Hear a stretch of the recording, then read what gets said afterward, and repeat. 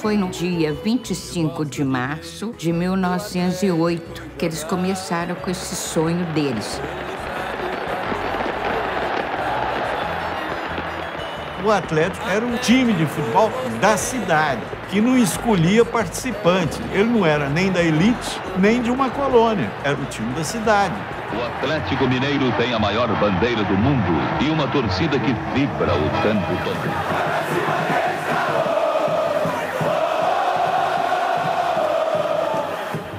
Nós não somos time de taça. Nós somos time de honra, de sangue, de camisa. Quando o Reinaldo comemorava com punho fechado como os Panteras Negras norte-americanos, ele estava dizendo não e basta à ditadura militar. Cartão vermelho para o Reinaldo. Expulso do gramado, Reinaldo. Outro, hein? Outro. Outro. Expulso, o pede pro técnico do Atlético tirar o time. O árbitro justifica ali. Expulsou cinco jogadores do Galo no mesmo lance. Eu tive o lance da partida. Olha o Paulo Isidoro. Fica caracterizada a falta. Dentro da área, pênalti. Foi o dia mais triste de Belo Horizonte. Nós teríamos sido campeões do mundo. Não fomos por obra e graça do Reich. Hoy se están apagando las luces,